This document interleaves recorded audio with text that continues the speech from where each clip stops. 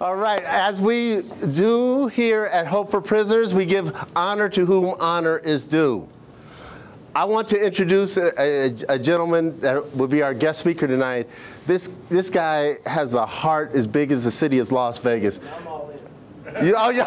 oh, somebody's all in. I hear you. Are you all in, huh? This, this, this gentleman is a great friend, a great lover of people, a great lover of humanity. Please give it up for Daniel Negreanu. now we win. Huh? Oh, we got a microphone? We mic you up, man. Look at that. I got a loud voice. I could yell. All right. Hello, everybody. For those of you that have no idea who I am, I'll give you a little background. Uh, I'm a poker player, professional poker player. In my career, for most of my career, I, I've been the all-time money leader with over 40 million in earnings. So I didn't start that way, though. We'll get to that in a minute. um, yeah, and I've been playing the game for 20 years. I come from Toronto, Canada. If you've watched ESPN in the old days and you know NBC, you've probably seen. If you watch poker at all, you definitely would have seen me on one of these shows because uh, I won a lot. but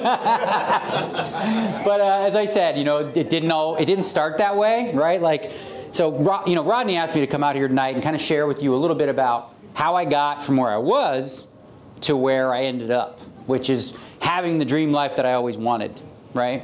And I was a very confident kid. My, my parents probably would say too confident. My mom got me this letter. I, she got it for my birthday. It was 10 years old. Uh, September 10th, 1984, and it said something to the effect of, it was from the principal, and it said, we will not tolerate Daniel's poor manners and behavior, and he will be expelled from school and your own insistence to always excuse Daniel from everything he does will not be tolerated. And I, you know, I appreciated that because I had the love and support from my parents. So from that confidence, even at a very young, I always remembered thinking and believing that I was going to be something. I thought maybe I'd be an actor or be somebody special. And I think part of the reason I was able to have success in my life is because it started with belief, right? Like, if you don't believe, if you don't actually believe you can do something, you'll never be able to do it, right? For example, let's say, okay, the question is, can I jump 100 feet up in the air, right? Well, I'm to think about that, first of all, and I'm like, I don't believe I can do it. I know I can't do it. So how much work would I actually put into doing it? None. Because what's the point? I'm not going to be able to do that. Um, so whenever I goal set, which I, which I want to get to in a minute, because goal setting has always been a big part of my life, I try to think of goals in such a way that it's juicy, it scares me a little bit, but it's within grasp. It's not fantasy land. It's not me jumping 100 you know, feet up in the air. It's something that I can see it, I can taste it. I know that if I put the hard work in, I can accomplish it, right? So this starts with the belief. Like if you actually believe you can do something, well, what's next? It doesn't just happen. You know, I know a lot of millennials wanted to, but it doesn't work that way. like you actually have to put in the hard work. Um, and so in my life, I, uh, I failed a lot, okay? And when I failed, there was a lot of opportunities. I was relatively young in my early 20s to quit and just give up because people were better than me. So in Toronto, I was like a bull in a china shop. You know, I was the, the big fish in a small pond. And I was able to win pretty consistently in Toronto. I came to Las Vegas, you know, 21 years old, like, I got this. Watch me now, watch me now. I sat down with these guys in Vegas. Um, I brought $3,000 with me, and 24 hours later, I had a lot of free time on my hands because money was gone. So I had a, a lot of a lot of opportunities to reflect. When I first, um, and what I would do is I'd go back home to Toronto, tail between my legs, um, trying to figure this out. And then um, I, I, would keep coming back to Vegas. I always had a belief that if I continue to learn and, and be better, that I can beat these guys. And I, it didn't work out for the first year, I would say. There was a lot of lonely walks because I didn't have enough money for cab fare, really, from Mirage to Paradise and Twain, the budget suites there. That's where I was staying because it was the cheapest place. And I'm glad, actually, in some ways, I didn't have cab fare because those walks were probably the most important in shaping my career. Because, like I said before, during those walks, I had the opportunity to, you know, decide what am I going to do? What am I going to do tomorrow? You know, I got no money. Am I going to go back home? Um, I, I you know, or, or am I going to, you know, try to make this work? And so it was a real sort of like opportunity to self-reflect and dig deep. And I remember every morning I'd wake up with like a plan. Like we're going to get back in this game. And I'd made a name for myself among friends. So when I'd go broke, I could get a stake. They would loan me some money, work my butt off to, uh, you know, to try to make it right, which, you know, I eventually did through a lot of hard work. But uh, I talked a little bit earlier about goal setting, and I guess I wanted to share with you a little bit about how I tackle it, right? Because I think we all have goals, right? And goal is to not just be where I'm at. My goal is to improve, and I, I, it drives me in everything that I do, whether it's physical, whether it's mental, whether it's relationship. Um, I feel like life is juicier and better when you have goals. And I also find that when you set goals, it, uh, it it's more, you, you, you open yourself up to bigger possibilities. So I'll tell a little story about these two women, right? Okay, so January 1st, Mary and Jane, um, forgive the names, because yeah, right. So Mary and Jane both decide they're like January 1st, we're going to lose some weight, right? They're both relatively overweight, right?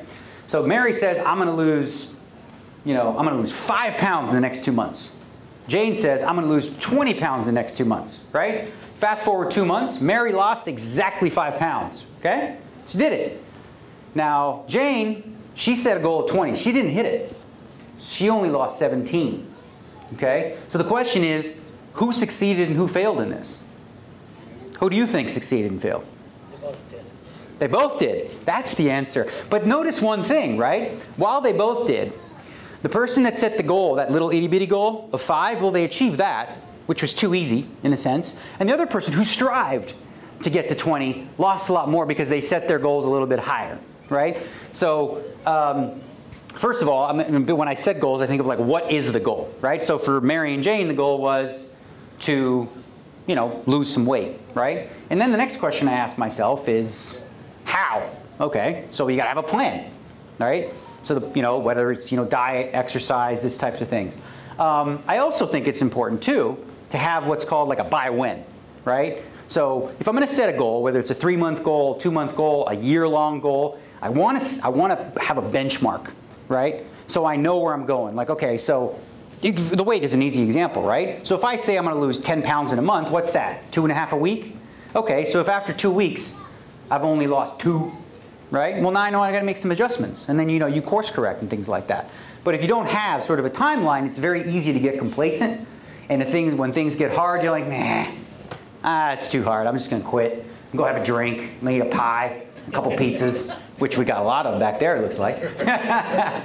um, the other thing is like who, okay, which, which is a weird part of the equation. And the who comes from like, who do I gotta be?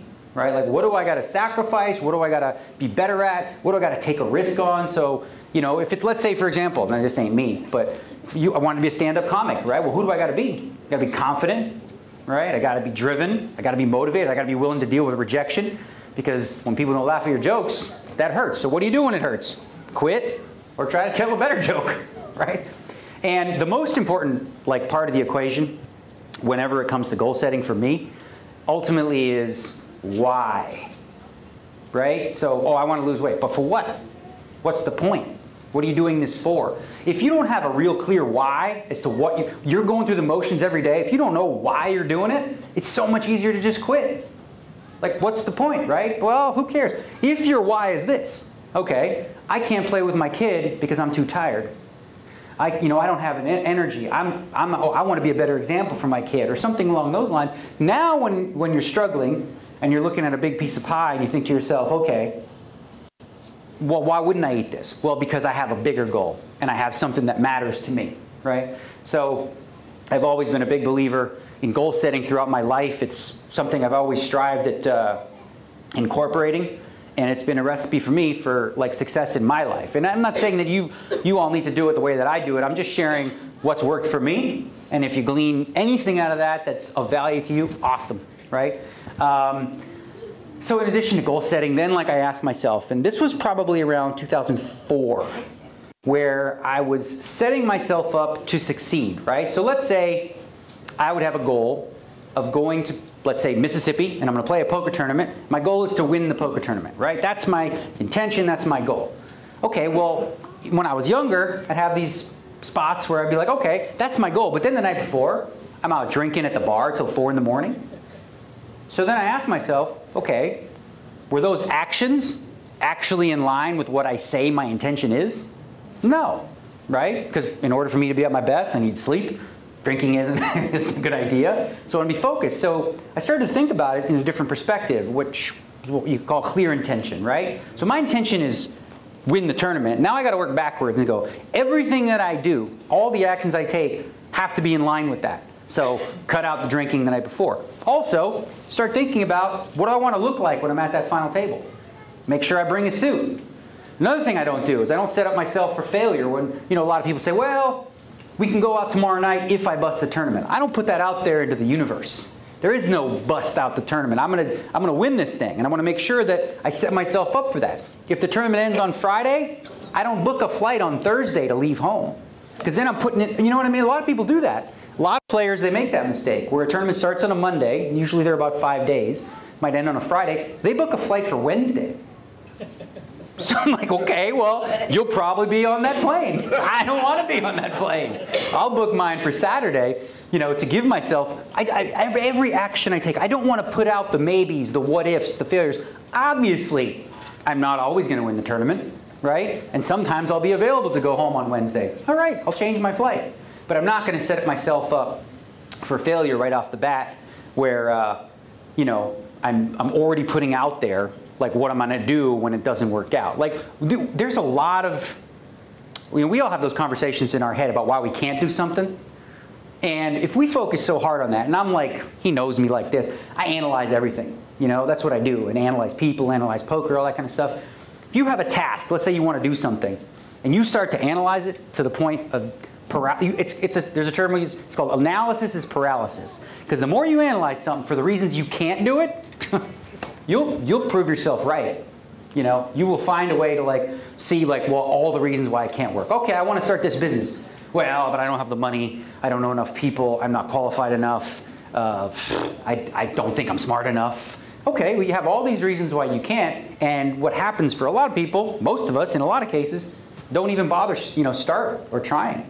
Whereas, you know, taking the opposite approach of just taking the risk without knowing for, you know, for sure what the outcome is opens you up like to bigger possibilities. It's like self-doubt. It's very easy for us. We all, you know, have stuff, right? We all got stuff.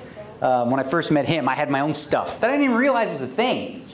I had a girl I loved, okay? I think she loved me, but she definitely loved a lot of other people too. that I knew of, right? And so, you know, she did, yep. You know, we were, you know what I'm saying? Like, hey, we were young. Well, she was a lot younger. Um, and I didn't realize, like, I thought I dealt with it because it was heartache for me. Like, I wanted to marry this woman. This was like, I don't know, 10 years ago. I really did. I wanted to marry this woman. Crazy, right? And so, uh, then I, you know, I went on with my life. I thought I dealt with it. And I realized no, I hadn't because that hit my confidence across everything I do. It crushed me. I was like, I wasn't doing as great at poker. I was becoming more complacent with mediocrity. All these types of things. Like, and I was able to, actually, thanks to this man too, we have good rapport with that, coaching me through it. You know, started getting my confidence back and having a chance to see that whole thing differently, right? Because back then, I blamed her for everything. She lied to me. She did this. She did this. She did this. And I remember telling that story to him like that, where it's like, she did, she did, she did, she did. And he's like, okay, well, how about you try to tell me that story from like the responsible side? We're like, what did you do? Okay? And I'm like, well, she did say she wasn't really, didn't want to be exclusive. You know, she kind of made a mention that, you know, she has a drug problem at the time and that she's not really fit and that she breaks men and that she's really a bad catch at this time. So I, I, I failed to mention that all the first time. But then, so the second time, so the, the second time, uh, when I told the story, it was like, huh, yeah, I guess she wasn't so bad after all. So you know what I did? You know what I did? In May, I married her. I did, yeah. Which is awesome. Uh, right? She's, she's grown up too. She's really grown up a lot. Um, but you know what's interesting too is I realized, right, back then, the man that I was I couldn't have been with, even if we were together and all that stuff, it wouldn't have worked. Because I didn't have that confidence and that drive. I wasn't ready for something like that. I needed to change. I needed to be a bigger, better version of myself. And she did too. Like we both had our growing pains and you know, we came back together, uh, re, you know, recent, like we, I, we just, she just came back to town. What was it, August? Married by May, you know, and we good, we good. Yeah, very happily married. Just came back from honeymoon. So uh, yeah, yeah, still. We're gonna have babies. We're gonna adopt. We're gonna do the whole thing. It's gonna, it's gonna be a blast. But. Um, so yeah, um, that's a little bit of my story. I don't know if you, you want to do Q&A, kind of see if anyone has some questions? Absolutely. All right, does anyone have questions? Fire away, they can be poker, they can be anything you want. Yeah, Um, Are you related to Simon Sinek? I don't know who Simon Sinek is. Never mind, Okay? never mind. Um, If you were getting out of prison for the first time in 20 years, what would you do? That's a great question. If I was getting into prison for the first time in 20 years, and I've actually thought of that scenario.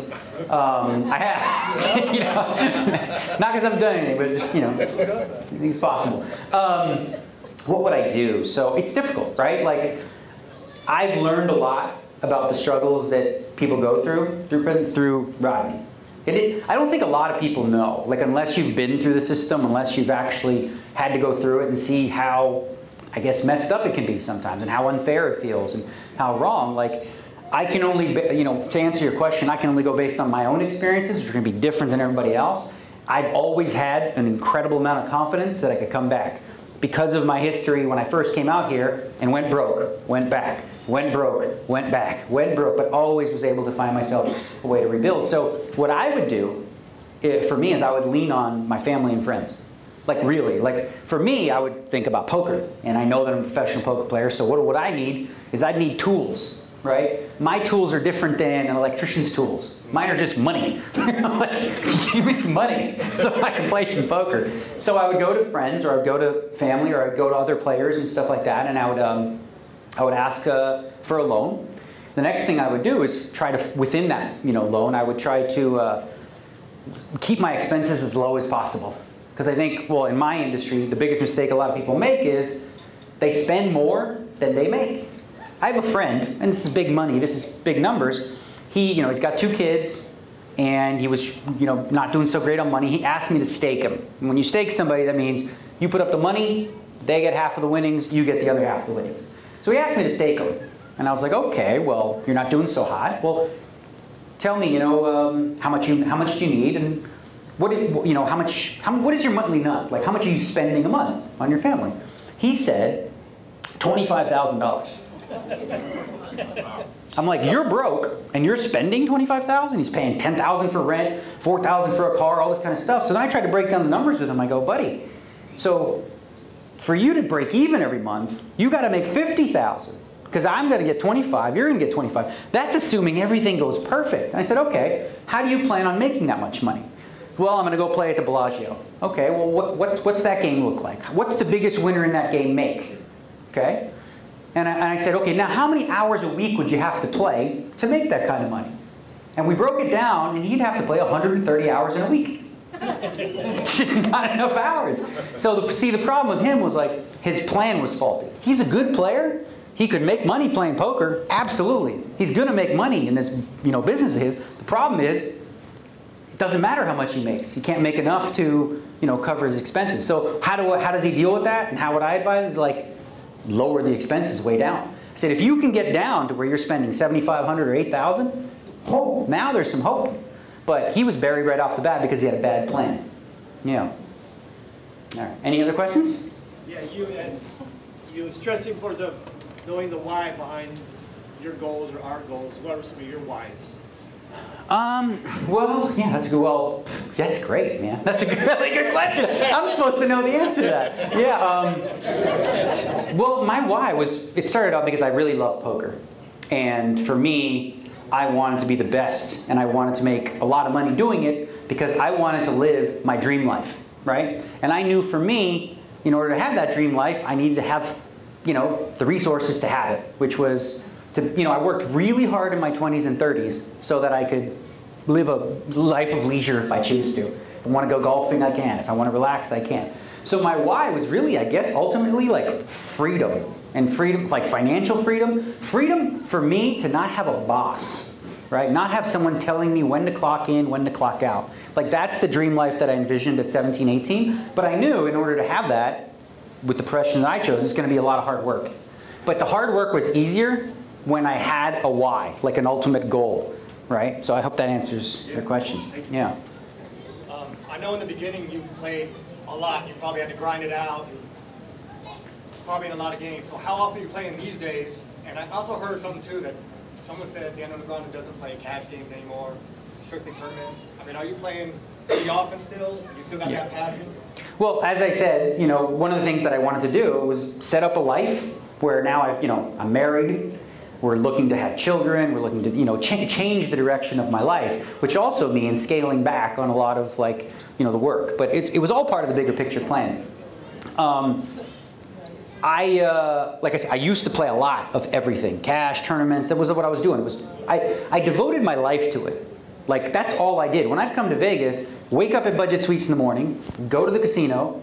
I didn't even take a lunch break. I went to go get a croissant and a yogurt, like on the, at the, at the little stand there, and I just played and I worked and I worked and I studied and all those types of things.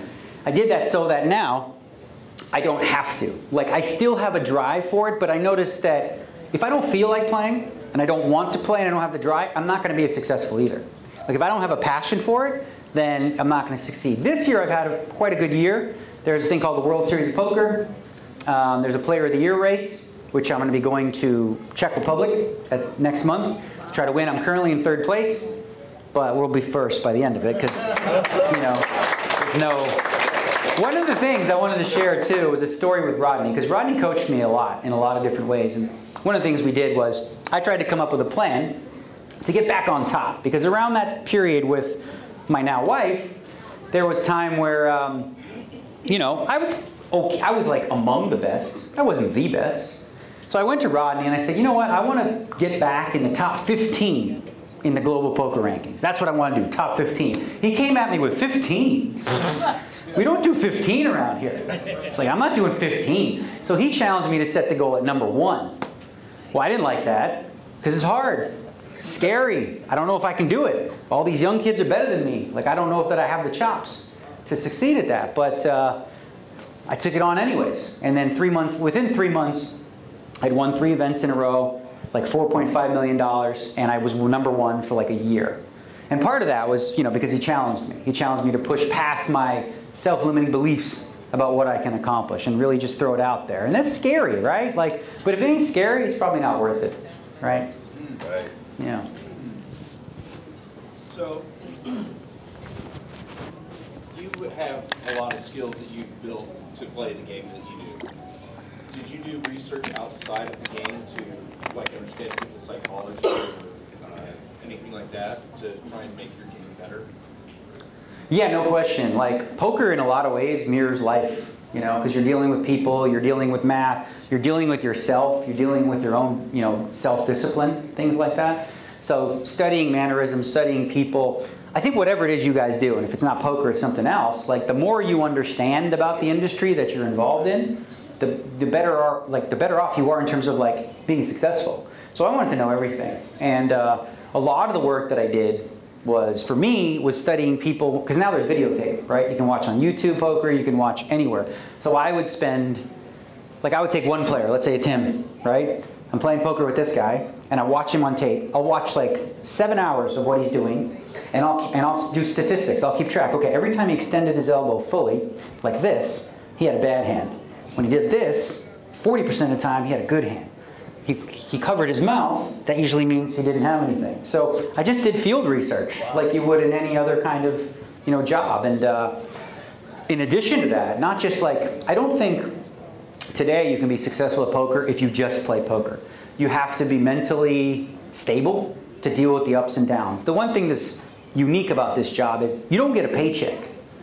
Like I don't get a paycheck every week at the end of the week like, oh boom. So some months things don't go well. And the question is, is it me? Am I not playing well? Is it bad luck? And that's one of the most difficult things for most people, I think in poker and in life, again, to like wonder, is it, am I not doing the right things or am I being unlucky? What can I do to improve? I can't control the luck, right? I can't. I mean, I wish I could. All I can focus on is, okay, did I do everything that I was supposed to do? Is there anything I can work on to be better at? And everything available to me, including whether it was meditation, whether it was getting physically fit. Because if you look at poker players like 30 years ago to today, 30 years ago, Doyle Brunson's sitting there. You know, he's a big boy. And, you know, they're smoking and drinking and all that kind of stuff. And you look at the younger generation of poker player, and they look like athletes. You know, it's crazy because they understand the connection between the physical and the mental, right? And it has a huge effect on my, your ability to focus and concentrate and be your best. And it also makes you feel better, I think. So, yeah. All right. Question, when you set your goals, what do you, the value of the success or the value of the lessons what do you treasure most? That's a great question. So the question he said is like, when I set goals, do I value the, you know, the, the what I what I achieve or the journey, if you will? For me, it's all about the journey. The journey's where all the juice is. I love striving to do it. I set a goal every year, which people laugh at. It's I set a goal to win three World Series of Poker bracelets in one year. I've never done it before, and I set the damn goal every year. I've done two. I've done two, and I set that goal each and every year. Um, and what I do is at the end of the journey, so when the World Series Poker is over, okay, I haven't accomplished the goal. But the way I judge it as being a success or a failure is did I do all the things I said I was going to do? Right? So if my plan was, all right, I'm going to show up on time, I'm going to get eight hours of sleep, I'm going to eat really good, I'm going to go to the gym, I'm going to do all these things, right? If I did all those things and I, you know, didn't quite get there, that's okay. You know, I feel good about it. I feel, I actually genuinely feel good about it. And I ask myself, all right, for next year, what can I do to set myself up even better, right? So as long as I follow my plan and I, you know, came through with it, I, I'm in an industry where luck does play a role. Sometimes I can do everything right, still lose. But you just have to take faith, have faith in the fact that if I continue to do things right and I continue down the right path of making good choices consistently, eventually, you know, that's going to pan out and work out for me, right? It, it, I feel less, I feel more failure if I know that I didn't give myself the best chance. Like if I'm going to go to Europe, well, there's a different time zone, right? So jet lag's a thing. Well, if I don't prepare myself for that, I don't think ahead to it, then I kick myself in the, you know, in the, in the butt because I'm like, well, you're exhausted. It's 3 o'clock in the afternoon over there and you want to go to bed. You know, and you got eight or more hours to play. So for me, it's always about the journey and knowing that like, I guess the word integrity is where I, come, where, where I go with it, right? If I say I'm going to do something to myself, I want to hold my word to myself. And sometimes I'm going to fail, you know, such is life. When you got to get back on the hobby horse and just get like, okay, you don't want to beat myself up too much, just acknowledge it, go, okay, so we screwed that up. All right, what are we to do now? We got to have a new plan, new direction. Let's, you know, let's get let's back on, get back on track. All right, over here. What's, what, what's your favorite hand to play? My favorite hand to play. It's a bad one. It's a 10-7. Not, I don't recommend it. So don't blame me if you lose with that hand. It's not very good. yeah. Uh, With your goals, do you write them daily? Do you post them and look at them? How do you go about that? So with my goals, one of the things I've done for years, which I don't know if it's controversial, but it's something that I, I that helps me for accountability is I write it on the internet and I post it to the world. Like I write at the, in January 1st, I write a blog that I post with like 10 specific goals. And then I typically don't really, and I write them out in great detail, and I typically don't really look at them a lot throughout the year because I don't want to be attached necessarily to the results. At the end of the year, I look back on the year that I had and sort of go over. Usually I'll set 10. You know, if I hit five, that's a really good year. No, really, because I'm, set, I'm not setting little itty bitty baby goals. I'm setting goals that are like, huh, crazy. And you know, a lot of people criticize in, in the community because poker players are very logical thinkers. They're very anal in a lot of ways. And they say, well, how can you set a goal on something that you can't control? Because it's not, it doesn't work that way, really, for me. Like I want, I want to win three bracelets, so why not put it out in the universe, right? I know that I'm not always going to succeed, but I'm going to do everything I can to do so. And I, the key is, I don't feel like a failure if I don't get there. Like if I only won one bracelet or two bracelets, I'm not to look and look and go, dang it, I should have had three, you know? Um, so yeah, I take a lot of pride in, uh, you know, like I said, in the journey and just uh, being a man of my word to myself, which is more important than to anyone else, right? Yeah.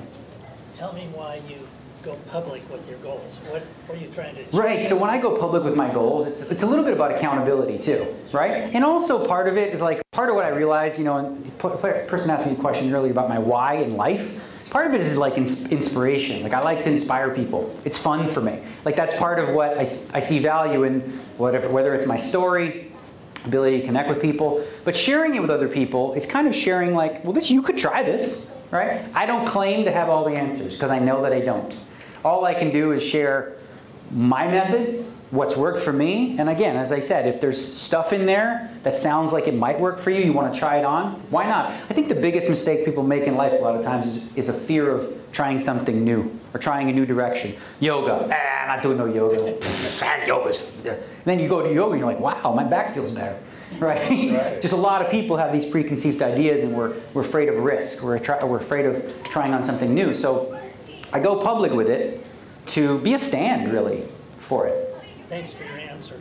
I, I own several real estate companies, companies in Sacramento. The beginning of every year, I had all my agents in a goal meeting where we shared our goals to everybody. And I- I've been accused of doing this the wrong way, but it worked like gangbusters. And I'm so happy that you go public with it. Mainly it was accountability. If you're sitting next to Jane and Jane had a goal to close three houses or 10 houses a month, and you're sitting there with one, and you know that, it's going to drive you a little harder than, than if you didn't know that about her. Yeah, for sure. I think it's dependent upon the person, right? Like some of you may not want to go public and, and share your goals because for a lot of people, you know, let's say for example, this quitting smoking. Uh, my mother, she was a chain smoker. She smoked two and a half packs a day, like you know, three three packs even, or whatever. And uh, she had tried to quit several times, but she told everybody, you know. And then when she failed, she felt like a failure. She felt like, oh, they're gonna give me crap about it and whatever. So she finally quit because again, I said everyone's different. She finally quit when she didn't tell anybody. My dad smoked occasionally, and then you know when she'd see him smoke, she'd leave the room. And after about a week or two, he's like, you know what? You haven't been smoking. She's like, I quit. Just like that. So I think it's important to try this stuff on and make it work for you, right? You don't. This, my plan is my plan for me. This is what works for me. You figure out what you know what works for you. And for some people, you know, sharing that uh, sort of thing is you know potentially detrimental. So there's no one size fits all plan. But I, I'd say that having a plan, like, is a good step, whatever that plan may be. Thanks. Yeah. Questions? Oh, right here. I've watched you for many, many years on TV. Uh, I don't play poker, but just between you and me, what's your biggest tell? He basically just told me to give him my trade secret. I want to do. I'll tell you what my biggest This is what I tell is. So here's what you don't know, and most people don't know about me. I was I have Tourette's. You know what Tourette's is? So Tourette's could be verbal, it could be you know twitches. Mine are with my eyes and I blink, so I can blink uncontrollably sometimes. Well, I remember being on a show called High Stakes Poker, and I was in this big pot. I had fifty thousand in cash, and I threw it in the middle, right? And I was bluffing. I didn't have it, and my eyes were going like this, right? So everybody's watching this, and I know they're watching the video, so what do they think? They think, well, when he's bluffing, he blinks a lot, like that. I'm like, actually, it's just my Tourette's. but, so, but I learned, you know what I did was I took advantage of that. So the next time when I was playing with people that I knew had watched that show, and I had it, I had like four aces, and I wanted to, I started going like, like, like, twitchy, like all kinds of crazy. yeah. so- well, yeah, they, they, you know, it worked for a while, and then they got, they're like, hey, wait a minute, that blink doesn't mean what I thought it did. Anybody else? Questions? Right there. I got a couple. Okay. One, okay, I was always curious about this, but so say you're in the World Series, I know you made final table like a little, few years back, um, and you get a big score like that. How much does the IRS take out of that? Too much. no, I mean, I don't even know, but I think it's well, with the way they with, when you're a professional gambler, you file as a professional gambler. So at the end of the year, you know, you you take your your payouts minus your buy-ins, and I don't know what is it like. 30, I don't even know what we pay in tax. It was like thirty percent, something like oh, millions. Yeah. If you're professional, they take out more. Um, no, actually, they don't take it out unless you're from another country. Like if you're from You Canada. To. Yeah, so you file at the end of the year or anything that you win. Are you ready to play the World Series of Poker? It's always been a dream of mine. Okay. I've been watching you, I'm actually a huge fan. Appreciate it. Um, another thing, Yeah. you said you had like over 40 million, I know you're the all-time money winner. So you have a lot of investments outside of poker, right? Like, I mean, you gotta have like real estate, a lot of things going on. Yeah, one of the things when I was young, my focus was poker. That's it. I didn't know anything else. I came out here, I wasted so much money. Like I rented a car, paying like way too much. I was, I, I just didn't have, I didn't have a real good understanding of money and how the world works and how to like get a plan. Um, and then, but then I realized how important all that stuff is.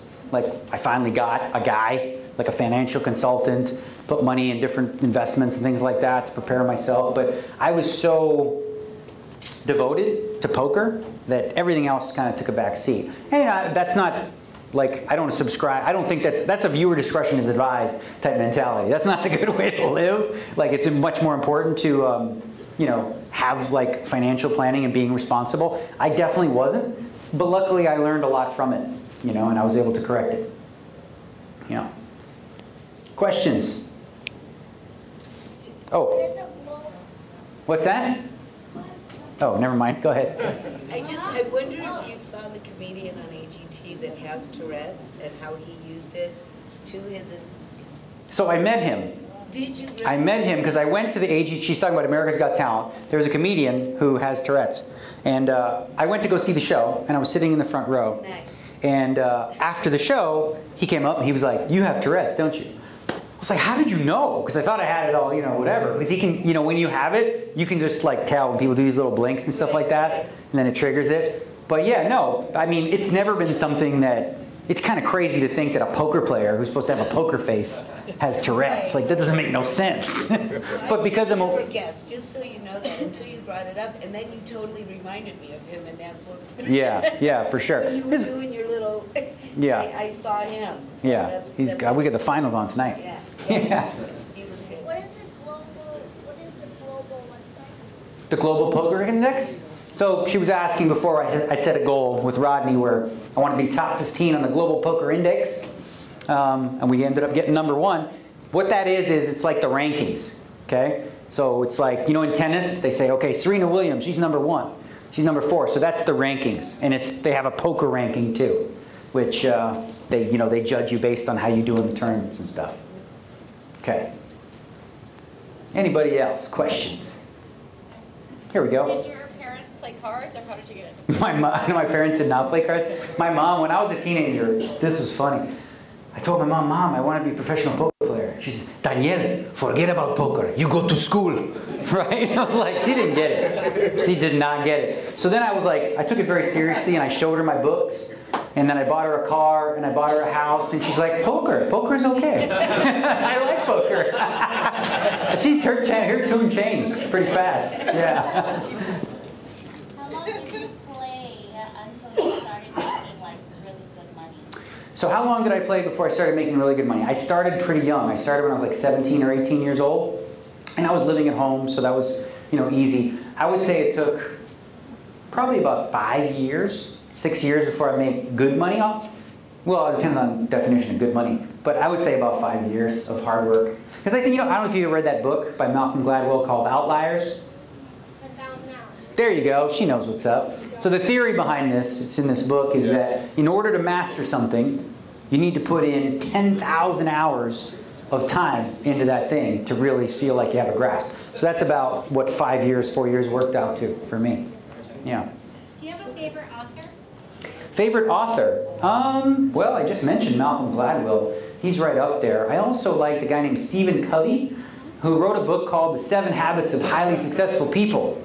Really good one there. And then uh, I read some of the Eckhart Tolle stuff. That's a hard read because it's very confusing, but it's interesting. You know, I like I like to read stuff sometimes that challenges me. That stuff does. I recommend Simon Sinek's uh, Start With Why. Start with why. Simon Sinek. Okay, we'll add that to the list. So reference the 2,000 hours and 10,000 hours, how many hours condensed would you think that you practiced a week from the time you were 17? Say 40, 50, 80? Yeah, so when I played, well, that's that's what part of practice is, is actually you know experiencing the playing part. But I also felt like it was it was equally important. So let's say there was a 10-hour day. I would spend seven or eight of that playing and two to three hours of that studying. So part of what studying was for me was note taking, right? And I think this applies to not just poker, but like whenever you do something, sort of journaling or having like a, an idea of, okay, what, what, what went right, what went wrong? What, what do I need to address? What do I need to fix? And with me, a lot of time it was poker hands. So if I was in an interesting spot, wasn't sure what to do, I'd be like, okay, let me write down the details of it, go home to my computer, because now you can solve stuff on computers, and I would do simulations and try to really break down the situation so that the next time I faced that same obstacle, I was better prepared, right? So with poker, let's say you start, or poker with pretty much anything, let's say you start like with a new thing, you don't know anything about it, okay? Well, you learn one thing. So you, you make a mistake. Okay, you learn something from that mistake. All right, well, that's a mistake, hopefully, that you got down now. So next time you're going to get it right. With poker, there's so many different variables and different mistakes you can make that you just try to lessen the number of them, right? So you just continue to try to grow on that. Like a golfer, like every golfer who golfs, they almost never hit a perfect shot because a perfect shot goes in a hole, right? They're just trying to make their misses smaller. And then how does the analysis paralysis work when, you know, those poker hands are pretty fast, right? So Yeah. how does- How does the analysis paralysis play into that? Well, with practice, when I talked about, when I use the term analysis is paralysis, that's more so for, um, you know, getting started on doing something, like taking a risk. Um, analysis in poker is a must, right? But part of what analyzing all the time does is it sets your brain up to do that, right? So you guys familiar with Bobby Fischer, the chess player? So Bobby Fischer, he kind of like, uh, I guess he lost his mind a little bit. Well, a lot. and, uh, and part of the reason is like chess is a great game, it's beautiful, but what you do when you play chess is that you're constantly in a state of paranoia. If I do this, he might do this, he might do this, he might do this. So it's constantly training your brain, and he's spending 10, 12 hours a day doing that on the game. But that also had an effect on his life. He started to feel like, oh, there's something in the stop sign that's like getting in my head, and there's something, you know, he had, he started to have like paranoia in his real life. So whatever we practice, whether it's in, in, in, what- in whatever, you know, endeavor, that's, that's going to be part of like, you know, it's going to have an effect on you outside of just what you're doing as well. Both good or bad, depending. I got another one. Okay. So a lot of us I know, um, ex-offenders here within the whole program, we have set goals and achieved them, and then some of us maybe, you know, lost focus and then maybe lost connections and fell off. So my question to you is, you said once you got number one, do you remember like that moment when you found out you were number one, and what did you do to prevent any let up? Or what goals did you have after you had reached number one? Yeah, so that's the interesting question too. So one of the reasons that goal setting remains a part of my life, uh, and I think it's important for me, and again, this is not true for everyone, is once I've achieved a goal, I can't stay stuck. I need to set another one. Or I need to have a new direction. I need to figure out something else, whether it's in poker or whether it's in something else. I, oh, I constantly wanting to be, learn to be a better version of myself every day in whatever it is, right? So if I'm stuck, like you said, I got to number one, now what? That happened to me in the year 2000. Right, In 1999, I killed it. I won everything, I was on top of the world. You know, I was single, I was here in Las Vegas. I uh, didn't have family here. I didn't have a lot of a foundation.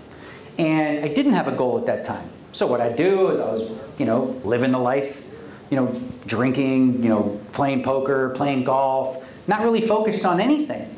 Well, didn't take but a year for all that, you know, progress I made in 1999, all that money, gone. One of the best things that ever happened to me, really, because that year of like realizing, like, man, if I don't have a foundation, I don't have a core, I don't have any sort of reason to do to do this, then I'll just you know mess up. And I saw too many guys make that same mistake, where they build, they build, they work because they had something to work for. They worked and they get this money, right? Now they got the money, and it's like, what next? They didn't have a what next. So what happens is, subconsciously they sabotage themselves, lose all the money, all of it, because you know what? Now they have a goal again. Now they have something that they can wake up every morning and go, I gotta go get make money. But too many of the people I knew, once they got there, they got to the destination, they really didn't have like a what next, and that's super important just to continue to, you know, strive to find other ways to, you know, better yourself. Yeah. So, in between tournaments, you study, analyze, practice, whatnot. what type of percentage do you structure for not poker-related events? Yeah, so I don't play nearly as much as I used to. And when you're young, you're trying to absorb as much information as you can and learn and all these types of things. At, at my stage now, my advantage over the younger generation is my mental game. Wisdom, you know, wisdom and patience, which comes with age. You know, a lot of young poker players, they're coming in flailing, right? I know how to dodge the bullets. Like, you know, kind of be, oh, bob and weave. So I spend less time on the fundamental, you know, like of the game because I've got most of that pretty much down. I still do refreshers and try to like keep fresh, but mostly I make sure that before I play, I'm mentally ready to give my best. Like I don't play when I don't feel like I have that. Like I make sure that, um, you know, I also separate my schedule now because like I said, I've achieved what I wanted to achieve in poker. I have for the most part, right? So what do I want now is a little bit more balance. You know, I'm just newly married, as I mentioned. We're talking about children. So that's going to be a totally different, you know, not necessarily goal, but yeah, kind of a goal of making that work for us. Um, so, you know, because I've succeeded in, in that one area, I'm not done. You know, I have other things in my life that I want to do. If poker wasn't an option for you anymore, what would you be doing? Okay, if poker wasn't an option for me anymore, what would I be doing? So I would answer that two ways. If it was like poker was never an option for me, I would have liked to have been in acting or directing or writing or stuff like that, because I like that kind of stuff. Um, today, what would I do? Well, huh? What's that? Go do that. Acting, I could do a little bit of that, some writing, stuff like that. But if I wasn't going to play poker anymore, one of the things I'd probably do is this. A lot more of this, which is I got, you know, I get um, asked now to go speak at events. Like I'm going on October 8th to San Francisco to speak to some, you know, you know, tech people, try to inspire and things like that. So I enjoy that. Makes me feel like a life worth living. Um, uh, so financially, that you know, that pays pretty good too. but uh, yeah, I mean, if it wasn't for poker, um, probably writing and maybe I don't know, write a book or something like that. Yeah, who knows? Yeah, maybe I'll do. I, yeah, I've done poker books, but I want to do other stuff. Yeah, stuff that's more interesting. Yeah, exactly. Anybody else? All right. Rodney? Give him a hand.